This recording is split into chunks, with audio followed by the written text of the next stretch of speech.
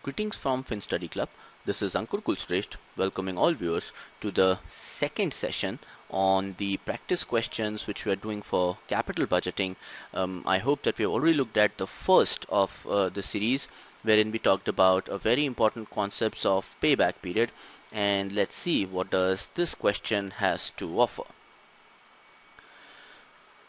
Let's start reading the question. It starts with Coal India which is planning a new coal mine which will cost 100,000 to be built with the expenditure occurring next year.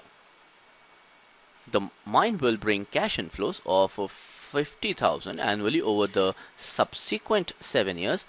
It will then cost 17,000 to close down the mine over the following year. Assume all cash flows occur at the end of the year which is like the basic assumption all the time Alternatively, the company may choose to sell the site today. Okay, so basically, if I were to understand this question, there is uh, an option to use the site and there is an option to sell the site.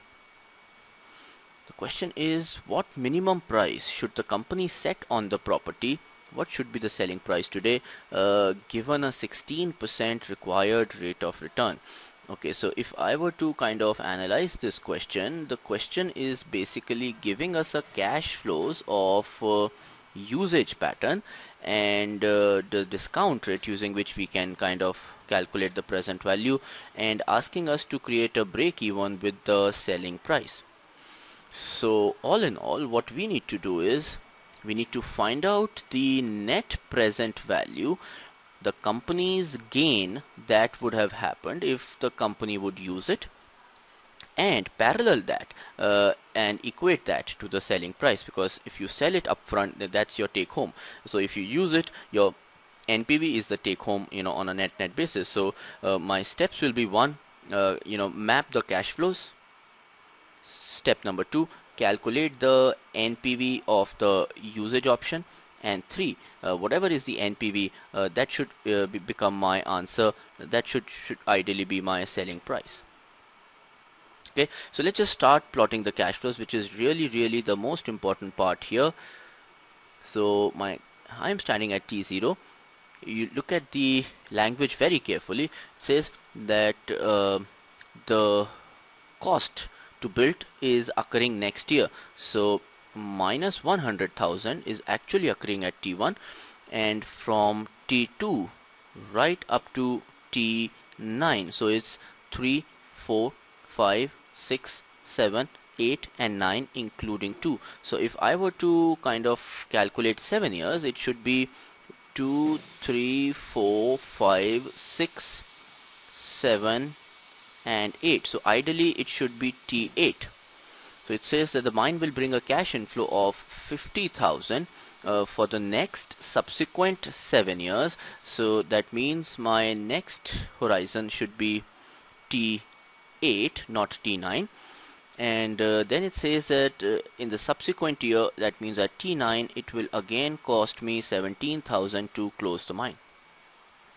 Okay, so I think how to map these and discount them uh, we are going to use your BA II calculator wherein we will just plug in the cash flow function.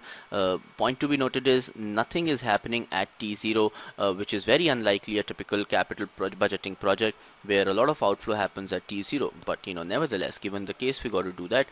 Uh, so therefore uh, if I do the BA II Plus calculation the net present value at 16% is coming out to be so the answer of the NPV is coming out to be 83,399 which is my option number B. So that's a pretty interesting and should I say a little difficult also.